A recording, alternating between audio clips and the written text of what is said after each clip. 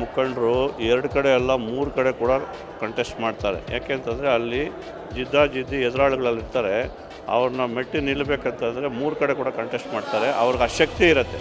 ಎಲ್ಲರೂ ಹೋಗಿ ಎರಡೆರಡು ಕಡೆ ಕಂಟೆಸ್ಟ್ ಮಾಡೋಕ್ಕಾಗೋದಿಲ್ಲ ಹಾಗಾಗಿ ಅವರು ಒಂದು ಚಾಲೆಂಜಿಂಗ್ ತೊಗೊಂಡಿದ್ದಾರೆ. ನಾನು ಎರಡೂ ಕಡೆ ಕಂಟೆಸ್ಟ್ ಮಾಡಿ ಎರಡೂ ಕಡೆ ಗೆಲ್ತೀನಿ ಅಂತ.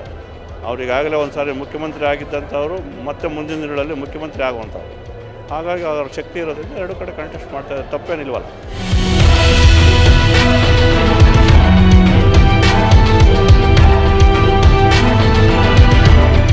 See, Honorable Election Commission can say whatever they want to say, but it is the prerogative. The Constitution allows a person to contest from two. Did Modi ji pay for uh, one constituency when he contests from two constituencies? You can't really have one Mapdan for uh, uh, national parties and another Mapdan for uh, local parties. The election commission, if there are any rules like this, firstly let them get electoral reforms. Firstly, let them answer the very important questions on EVMs. And we would also, yes, if it is there in the constitution, we will abide by it. ಅದು ನೋಡೋಣ ಕಾನೂನಲ್ಲಿ ಏನಿದೆ ಕಾನೂನು ಪ್ರಕಾರ ಮಾಡಬೇಕಾಗತ್ತೆ ಕಾನೂನು ಯಾರ ಕೈನಲ್ಲಿ ಇರ್ತಕ್ಕಂಥದ್ದಲ್ಲ ಕಾನೂನು ರೀತಿ ಅದು ನಡ್ಕೋಬೇಕಾಗತ್ತೆ ನಡೆಯೋಣ ಮುಂದಿನ ದಿನಗಳಲ್ಲಿ ಏನಂತ ಹಂಗೆ ಕಟ್ಟಬೇಕಾಗಿರೋಂಥ ಕಾನೂನು ಇದ್ದರೆ ಮಾಡೋಣ that issue will not arise in this election. Don't bother about all those things. I will take care.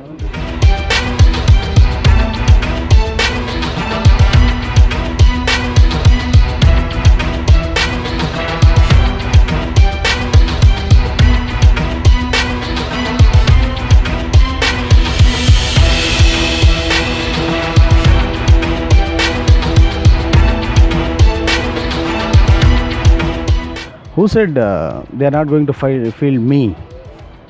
It's totally wrong. Actually, JDS is secular party, whoever it may be, however it may be. We will obviously 200% welcome anybody who wants to join our party for good cause. Okay, so in that way, so we have welcomed so many people. So we have not promised Kumaran. I spoke to Kumarana now, and Devagowda ji also. Even he himself also told we have not promised anyone. Still, there is a time. You, you need not to worry. We'll take a call. Wait for some time.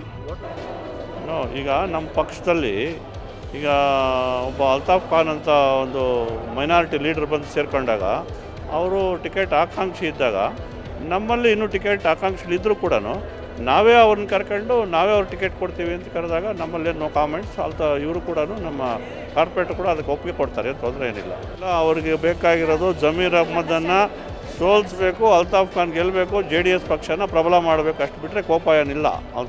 See firstly this decision is taken by by party supremo honourable S D Devegowda ji understands politics much better than you and me and uh, all the people together from uh, our party.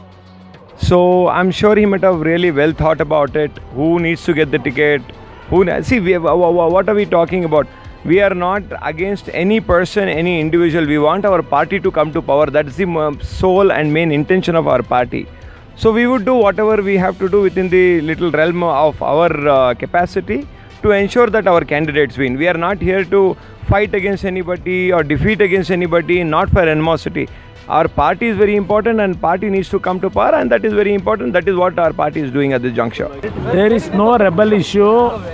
We will sort it out. Whatever problem is there, we will going to sort it out.